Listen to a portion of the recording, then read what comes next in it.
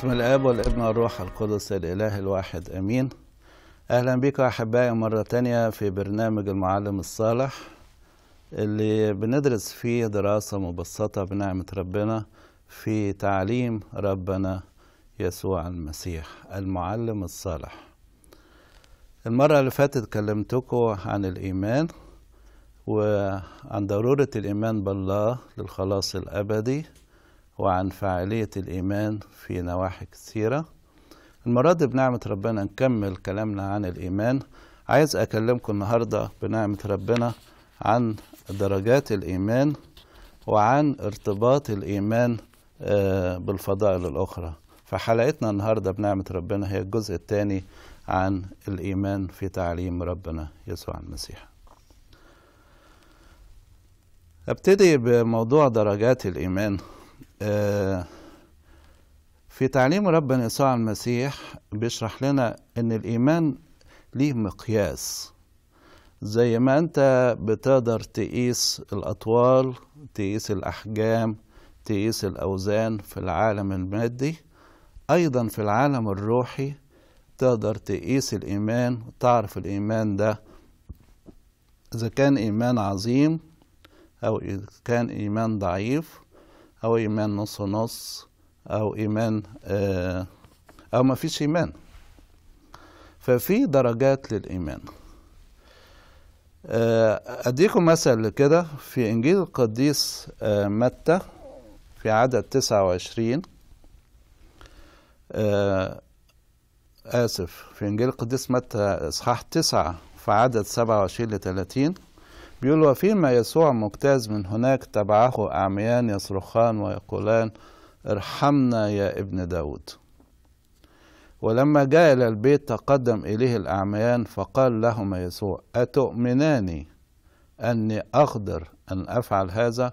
فهو ده السؤال الحلو اللي ربنا يسوع المسيح بيسأله للأعميين قال له أنتوا تؤمنوا أن أنا أقدر أعمل كده؟ يعني أنتوا بتصرخ يا ابن داود ارحمنا طب أنت بتصرخ بإيمان؟ ربما تكون أنت في مشكلة أو في ضيقة أو في موقف غير واضح وعايز استعلان من الله يكشف لك إرادته في الموقف ده. الرب بيسألك هل أنت تقدر هل أنت بتؤمن إني أقدر أعمل كده؟ فقال له نعم يا سيد. عدد تسعة وعشرين ده بقى اللي أنا يعني أقصد أتكلم عليه. بيقول حينئذ لمس أعينهما قائلا بحسب إيمانكما ليكن لكما. في عدد 30 فانفتحت أعينهما يعني إيه بحسب؟ بحسب. ما قالش لأن أو علشان إيمانكم هيكون ليكم. بيقول بحسب يعني على قدر إيمانكم هيكون ليك. يعني أنت لو إيمانك قوي جدا هتاخد عينين مفتحة ستة على ستة. إيمانك ضع يعني نص ونص عينيك هتفتح بس تاخد نص ونص. فدي الحاجة اللطيفة في تعبير بحسب يعني على قدر إيمانك هتاخد. فبيقول بحسب إيمانكما ليكن لكما. التلاميذ نفسهم اتعلموا من الرب يسوع المسيح إن الإيمان ده ليه مقاييس وممكن إن الإيمان ده يتزود. ففي إنجيل القديس لوقا في إصحاح 17 في عدد خمسة وستة قال الرسل للرب للرب يسوع طبعا زد إيماننا. عايزينك تزود يا رب الإيمان بتاعنا. فقال الرب في عدد ستة لو كان لكم إيمان مثل حبة خردل لكنتم تقولون لهذه الجميزة انقلعي وانغرسي في البحر فتطيعكم. هما بيطلبوا ان الرب يسوع يزود ايمانكم إيمانهم. الرب ما رفضش الطلب لكن هو حب يوضح لهم إنه حتى لو عندكم قليل من الإيمان زي حبة الخردل ده في حد ذاته قوة عظيمة وتقدروا بيها إنك تقلعوا جميزة من مكانها وترموها في البحر. فهو بيتكلم الرب يسوع وافق على مبدأ إنه إن الإيمان ممكن يزيد ولكن في نفس الوقت بيشجعهم قال لهم حتى لو عندكم إيمان بسيط خالص فهذا الإيمان في حد ذاته قوة عجيبة جدا. القصة اللي حكيتها المرة اللي فاتت في إنجيل القديس مرقس في إصحاح تسعة عن الراجل اللي ابنه كان فيه روح نجس. وبعدين الراجل اللي ابنه فيه روح نجس بيقول للرب يسوع المسيح إن كنت تستطيع أن تؤمن. قال له إن كنت تستطيع شيئا فتحنن علينا وعنا إن كنت تستطيع شيئا.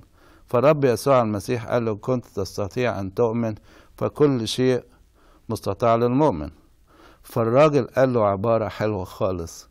قال له أؤمن يا سيد فأعن عدم إيماني. أؤمن. يعني أنت تؤمن ولا ما تؤمنش؟ أما أنت بتقول أؤمن أعن عدم بتقول عدم إيماني. هو يقصد أن أنا أنا عندي إيمان بس إيمان ضعيف. أرجوك إنك أنت تساعد الإيمان الضعيف ده وتزود الإيمان الضعيف ده. فياريت إحنا نصلي لربنا ونطلب من ربنا نقول يا ربي أنت بتع... بتطلب منا الإيمان وأنت رئيس الإيمان وأنت مكمله. ادينا قوة يا رب إن أنت تساعدنا وترفع من آه قوة الإيمان في حياتنا. فالإيمان ليه درجات؟ ده اللي بيعلم بيه ربنا يسوع المسيح. في إيمان عظيم في إيمان وصف الرب يسوع المسيح إنه عظيم. آه زي إيمان قائد المئة اللي اتكلم عنه في إنجيل القديس متى في إصحاح 8 عدد 5 ل 10 وإنجيل القديس لوقا في إصحاح 9 7 في عدد 9 آه بيقول جاء إليه قائد ما في إنجيل القديس متى إصحاح 8 عدد 5 وقال له غلامي مطروح في البيت مفلوك متعذبا جدا فقال له يسوع أنا آتي وأشفيه فأجاب قائد ما يا سيد لست مستحقا أن تدخل تحت سقفي لكن قل كلمة فقط فيبرأ غلامي. لأن أنا أيضا إنسان تحت سلط... تحت سلطان لي جند تحت يدي أقول لهذا اذهب فيذهب والآخر ائتي فيأتي والعبد افعل هذا فيفعل. فلما سمع يسوع تعجب وقال الذين يتبعونه الحق أقول لكم لم أجد ولا في إسرائيل إيمانا بمقدار هذا. إيمان عظيم. ليه؟ لأن الراجل ده شعر بعدم استحقاقه إن الرب يسوع المسيح يدخل بيته. والأكثر من هذا إنه آمن إن الرب يسوع يستطيع أن يشفي عن بعد. يعني قال له خليك هنا مش أنت منتش محتاج تتحرك. مش محتاج إنك أنت تيجي. أنا بقول أنا ليا ناس تحت إيديا بقول لي ده روح هنا روح. بقول لي ده روح هنا روح. بس أنا اللي تحت إيديا دول حاجات مرئية وحاجات في عالم البشر. لكن أنت أكيد عندك سلطان قوي إلهي سلطان روحي. عندك قوات أشفية. ممكن تقول كلمة تقول لي الكلمة دي روح بيت فلان عشان تخففي ابنه. تروح كلمة الله لبيت فلان الكلمة تخففه. تقدر تشفي من عن بعد. فالرب يسوع تعجب وقال أنا لم أجد في إسرائيل إيمانا بمقدار هذا. برضو الست الكنعانية في إنجيل القديس متى في إصحاح 15 في عدد 21 ل 28 الرب يسوع المسيح مدح إيمانها واعتبره إيمان عظيم. آه قديس متى بيقول إذا امرأة كنعانية خارجة من تلك التخوم صرخت إليه ارحمني يا سيد يا ابن داود بنتي مجنونة جدا. فلم يجبها بكلمة. فتقدم تلاميذه وطلبوا لي قائلين اصرفها لأنها تصيح وراءنا. فأجاب لم أرسل إلا إلى خراب بيت إسرائيل الضالة. فأتت وسجدت له قائلة يا سيد أعني. فأجاب ليس حسنا أن يؤخذ خبز البنين ويطرح للكلاب. هنا الإيمان بقى ظهر بتاع المرأة. إنها بالرغم إنها سمعت عبارة تبدو إنها فعلا صعبة إنه بيقول لها إن بالطبيعة إن الناس الأمميين أو الوثنيين دول ما هماش أولاد الله فبيقول ليس حسن يأخذ خبز البنين ويطرح للكلاب يعني لو أنت ترجعي ليا وتبقي بنتي هتاخدي أحسن من كده هتاخدي أحسن من الفتات. فقالت نعم يا سيد والكلاب أيضا تأكل من الفتات الذي يسقط من مائدة أربابها. فقدمت بإيمانها اتضاع.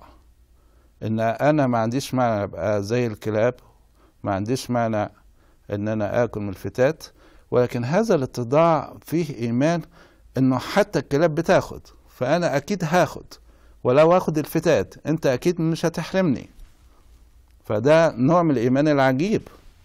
في عدد 28 حينئذ قال يسوع لها يا امرأة عظيم إيمانك ليكن لك كما تريدين فشفت ابنتها من تلك الساعة. يا صدقني مهما كان آه، حالتك الروحية آه، حتى لو كان زي الكنعانية دي وجيت للرب يسوع المسيح بإيمان وبتطلب منه مش هرجعك فاضي. ويقول لك عظيم هو إيمانك ويديك اللي أنت بتطلبه منه. ففي درجات الإيمان في إيمان عظيم وفي إيمان ضعيف. يعني الرب يسوع لما اتكلم عن الناس اللي بيعولوا الهم في متى ستة تمانية وعشرين لتلاتين فبيقول آه لماذا تهتمون باللباس؟ تأملوا زنابق الحقل كيف تنمو؟ لا تتعب لا تغزل. ولكن أقول لك وأنه ولا سليمان في كل مجده كان يلبس كواحدة منها فإن كان عشب الحقل الذي يؤخذ الذي يوجد اليوم ويطرح غدا في التنور يلبسه الله هكذا. أفليس بالحري جدا يلبسكم أنتم يا قليل الإيمان؟ يعني الإنسان اللي هو بيعول الهم على الأمور المادية الله بيعتبره أن إنسان ضعيف الإيمان أو قليل الإيمان. ومثال لكده التلاميذ في السفينة آه لما حصل هياج في البحر وكان الرب يسوع المسيح نائم في السفينة فراحوا له وصرخوا ونادوا قالوا يا سيد نجينا فإننا نهلك. في إنجيل القديس متى 8 26 قال لهم ما بالكم خائفين يا قليل الإيمان. ثم قام طار الرياح والبحر فصار هدوء عظيم. فهنا برضو نوع من الإيمان القليل. آه مثال تاني للإيمان القليل آه بطرس لما الرب يسوع المسيح نده له عشان يمشي على المية. وبعدين ابتدى بطرس يشك وابتدى إن هو يغرق. في إنجيل القديس متى في إصحاح 14 في عدد 32 بيقول مد يسوع يده وأمسك به وقال له يا قليل الإيمان لماذا شككت؟ ففي برضو نوع من الإيمان القليل نوع من الإيمان القليل. لما الرب يسوع المسيح كان بيتكلم عن خبز الفريسيين وقالوا إن إحنا معناش خبز فالرب يسوع في إنجيل القديس متى في إصحاح 16 في عدد 8 قال لهم لماذا تفكرون في أنفسكم يا قليلي الإيمان؟ إنكم لم تأخذوا خبزا حتى الآن لا تفهمون ولا تذكرون. خمس خبزات الخمسة الألاف وكم قطفة أخذتم؟ ولا سبع خبزات الأربعة الألاف وكم سلا أخذتم؟ يعني هو قبل كده كان عمل أكتر من معجزة لإشباع الجموع. خمس تلاف شبعهم بخمس خبزات وأربع تلاف شبعهم بسبع خبزات. وانتوا جايين دلوقتي قلقانين على الخبز وبتقولوا ما معناش خبز راح فين الإيمان؟ فانتوا إيمانكم قليل.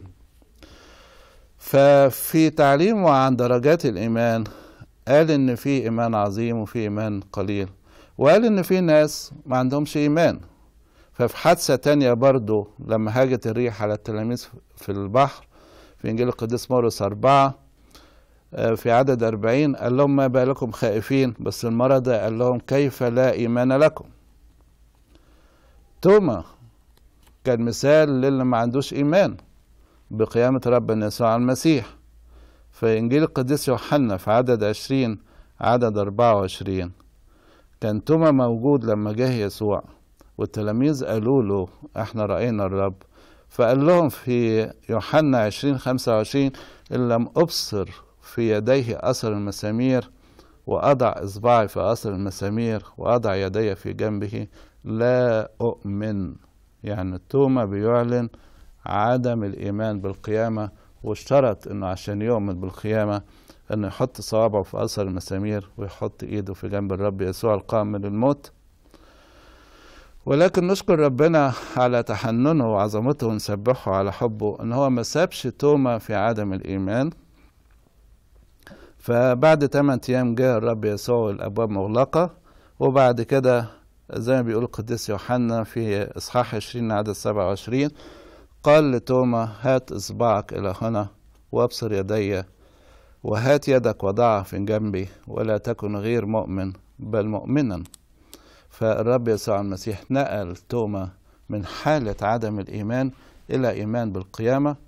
بل في الواقع هو مش بس نقله من حالة عدم الإيمان لإيمان ده نقله من حالة عدم إيمان إلى كارثة عظيم آه كرز بعد كده بموت وقيامة ربنا يسوع المسيح. فالله من حنانه مستعد إن هو يدينا إيمان.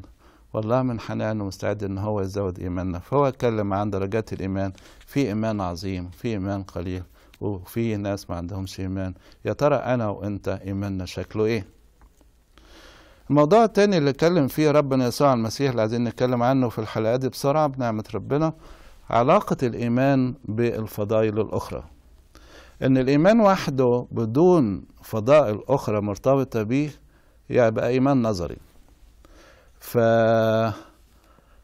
في إنجيل مثلا إنجيل قديس متى في إصحاح سبعة في عدد واحد وعشرين بيقول ليس كل من يقول لي يا رب يا رب يدخل ملكوت السماوات بل الذي يفعل إرادة أبي. فالحكاية مش كلام أو الحكاية مش إيمان نظري لكن محتاجة عمل إرادة الله الآب. في إنجيل القديس يوحنا في عد... في إصحاح 13 في عدد آه 17 قال إن علمتم هذا فطوباكم إن عملتموه. يعني ما تقولش إن أنا بؤمن بالله وما تتكلمش كلام نظري لكن محتاج موضوع العمل. فالإيمان مرتبط بأمور كثيرة أو بفضائل كثيرة حسب تعليم ربنا يسوع المسيح. أولا مرتبط بالتوبة لأن بدون توبة صادقة واعتراف بالخطية الإنسان ما يحصلش على مغفرة الخطايا ومش بيحقق إرادة ربنا. الرب يسوع المسيح لما بعت تلاميذه عشان يكرزوا في إنجيل القديس مرقس في إصحاح واحد في عدد 14 قال لهم روحوا واكرزوا و آسف الرب يسوع المسيح نفسه لما جه يبتدي البشارة والكرازة بتاعته بيقول إن هو ابتدى يقول قد كمل الزمان واقترب ملكوت الله فتوبوا وآمنوا بالإنجيل فهو ربط التوبة بالإيمان. يعني مش بس إن إحنا نآمن بدون توبة محتاجة إيمان. وادينا مثل بتاع شخصين. قال إن في شخص أبوه قال له روح أعمل كذا فقال له حاضر أنا أروح أعمل أشتغل في الكرم وما عملش حاجة. واحد تاني قال له روح اعمل كذا فراح وعمل. ده بيتكلم عنه في إنجيل القديس متى 21 في أعداد 28 ل 32 بيقول كان الإنسان ابنان فجاء الأول وقال له يا ابني اذهب اليوم أعمل في كرم فجاب ما أريد ولكنه ندم أخيرا ومضى. وجاء إلى الثاني وقال كذلك ها أنا يا سيد ولم يمضي. فأي الاثنين عمل اراده الآب. يعني الأولاني قال له أنا مش هعمل بس رجع وتاب وندم إن هو ما سمعش الكلام وراح عمل. والتاني قال له حاضر وما عملش حاجة. فالأولاني اللي يعتبر تاب وندم عنده إيمان بس إيمان متأخر بس تاب وعمل. ولكن التاني كان عنده إيمان وقال له حاضر بس ما عملش حاجة. فالرب يسوع المسيح بيقول أي الاثنين عمل إرادة الآب. قالوا له الأول الأول إن هو بالرغم إنه في فترة من فترات ما كانش عنده إيمان ما عندوش لأن ما عندوش إيمان ولكن بعد كده ندم وعمل أحسن من التاني اللي كان عنده إيمان وما عملش حاجة فقالوا له الأول. فالرب يسوع المسيح بيعلم إن إحنا يجب أن تكون آه يكون إيماننا آه مرتبط بعمل التوبة إن إحنا نتحرك ونعمل خير وإن إحنا نندم ونرجع عن الخطية زي ما اتكلمنا عن التوبة المرة اللي فاتت. ولهذا أيضا فهو مرتبط بالأعمال لأن التوبة بدون عمل ميت. فمرتبط بالأعمال. والأعمال هنا ضرورية للخلاص الأبدي. آه الناس يعني أحيانا بتبقى كونفيوز أو متلخبطة ما بين غفران الخطية بدم المسيح المجاني وما بين إنه مع غفران الخطية أنا محتاج الخلاص أكمل خلاصي بخوف ورعدة عشان الخلاص الأبدي. فالخلاص مش بينتهي عند غفران الخطية الخلاص ده عمل آه، بيكمل لغاية آه، يوم القيامة التانية آه، لما الله يقيم الأجساد ويعطيها طبيعة جديدة. فربنا يسوع المسيح بيعلمنا إنه ينبغي إنه يكون الإيمان بتاعنا مرتبط بالأعمال الحسنة. عشان نقدر نخلص في اليوم الأخير. والمثال لكده اللي معروف جدا وواضح جدا في إنجيل القديس متى 25 في أعداد 41 ل 46 يقول أيضا الذين على اليسار اذهبوا عني يا ملاعين إلى النار ابديه المعده لإبليس وملائكته. لأني جعت فلم تطعموني عطشت فلم تسقوني كنت غريبا فلم تأوني عريانا فلم تكسوني مريضا ومحبوسا فلم تزوروني. حينئذ يجيبون هم أيضا يا رب متى رأيناك جائعا أو عطشانا أو عريانا أو غريبا أو مريضا أو محبوسا ولم نخدمك؟ فيجيبهم الحق أقول لكم بما أنكم لم تفعلوه بأحد هؤلاء الأصاغر فبي لم تفعلوا. فيمضي هؤلاء إلى عذاب أبدي والأبرار إلى حياة أبدي إلى حياة أبدية. فهنا خلي بالك أنهم بيكلموا الرب يسوع المسيح بيقولوا له يا رب فهم مؤمنين بربوبيته مؤمنين بربوبيته. ولكن الأبرار يقولوا له يا رب اللي على اليمين يقولوا له يا رب واللي على الشمال يقولوا له يا رب. طب إيه الفرق بين على اليمين وعلى الشمال إن على اليمين عملوا أعمال الخير. شافوا الجعان وأطعموه وشافوا العطشان وسقوه وشافوا العريان وأبوه وشافوا الغريب وأبوه وشافوا العريان وكسوه وشافوا المريض والمحبوس وزاروه. والرب يسوع المسيح اعتبر إن كل اللي عملوه ده عملوه لشخصه هو. فإيمانهم به كرب كان مرتبط بالأعمال الصالحة. علشان كده الرب يسوع المسيح قال لهم ادخلوا الحياة الأبدية.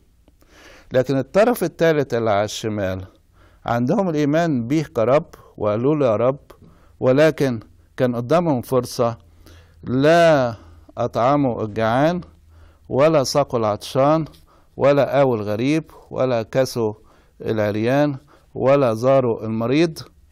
فالرب يسوع المسيح آه قال لهم آه اذهبوا عني أنا لا أعرفكم. وراحوا للعذاب الأبدي. أما الأبرار راحوا الحياة الأبدية. وده اللي بيقول عنه قديس يعقوب آه أنت تؤمن أن الله واحد؟ حسنا تفعل. الشياطين يؤمنون ويقشعرون أنا لو أؤمن بوحدانية الله بس ما فيش أعمال صالحة. يبقى إيه الفكرة؟ طب ما الشياطين بيؤمنوا أن الله موجود. تفرق إيه بين الإنسان وبين الشيطان؟ لو بس الموضوع أن أنا بؤمن أن الله واحد والله موجود ولكن ما فيش أعمال صالحة. فده اللي بيعلمنا بيه ربنا يسوع المسيح إن إحنا إيماننا لازم يبقى مرتبط بالأعمال الصالحة. وده معناه إنه بيعلمنا إن إيماننا يكون مرتبط بالمحبة. ما الأعمال الصالحة دي هتطلع منين؟ ما هتطلع من دافع حبنا للناس. في إنجيل القديس متى برضو بيقول لنا حاجة تاني في متى سبعة, سبعة في عدد 22 23 الكثيرون سيقولون لي في ذلك اليوم يا رب يا رب أليس باسمك تنبأنا باسمك أخرجنا شياطين وباسمك صنعنا قوات كثيرة؟ يعني ده عندهم إيمان عجيب قوي وتنبأوا باسمه معناه أنه علموا باسمه. وقدروا بالإيمان ده يخرجوا شياطين وقدروا بالإيمان ده يصنعوا قوات كثيرة. ده إيمان عجيب قوي. ولكن حينئذ آه أصرح لهم أني لم أعرفكم قط اذهبوا عني يا فاعل الاسم. يعني عندك إيمان وتعمل الشر عندك الإيمان ومفيش محبة يبقى إيمان أي نوع من الإيمان ده؟